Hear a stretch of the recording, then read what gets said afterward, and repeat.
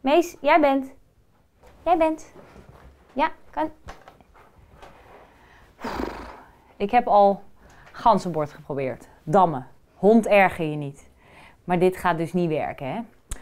Ik dacht gezellig, slecht weer. Ik ga gewoon even met de honden een spelletje spelen. Maar ja, dat, dat, dit is natuurlijk niet echt geschikt voor honden, hè? Daar heb je echte hondendenkspellen voor. En daarvoor heb ik een afspraak gemaakt met Rachelle en haar drie honden. Die komt zo meteen langs. Ja, die gaan ons laten zien hoe we dit moeten doen. Hé Sami, toch nog een keertje proberen? Zo, die kant. Ja. Mees, kan jij nog een set doen? Wil je die steen of die? Ah, daar zal je ze hebben.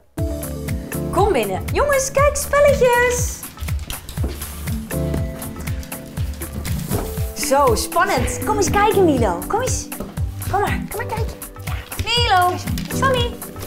Oh, ja, kijk eens jongens, wat is dit? even openmaken, Nina? Wat is dit? Wat hebben we allemaal? Nou, het is misschien handiger als we met één hond tegelijkertijd beginnen. Want het is, een beetje, het is een beetje Het is een chaos klein beetje Het is een chaos. klein beetje chaos nu. Ehm, het is belangrijk tijdens het spelen om erop te letten dat het, eh, eh, het einddoel is niet het oplossen van de puzzel.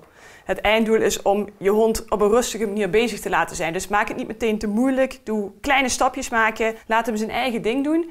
En zorg dat de stapjes zo klein zijn eh, dat hij geen frustratie hoeft te tonen. Inmiddels zit hier naast mij een van mijn eigen honden. Ehm, ja, waar beginnen we met Mees? We zetten het dopje nog niet helemaal erop, want dit is best al moeilijk. Dus je begint eigenlijk rustig. 1, Je- 2 en Ja. vervolgens kan je dan de hele puzzel eigenlijk vullen of is Eh, het te veel? Nou, ik zou na, na twee zou ik er wel al vier of vijf vullen. En dan daarna pas de hele puzzel, want die in het midden, die is veel lastiger als de buitenkant. Oké, Ik ga je een beetje helpen, Mees, want het is al goed zo. hond nummer 2 zit inmiddels klaar en die heeft er hartstikke veel zin in, zoals je hoort. Nou, volgens mij eh, mag Milo Hij gaan starten. begint, hij begint al. Hij begint al. Kijk, kijk, kijk. Je bent ook wel een beetje een pro, hè?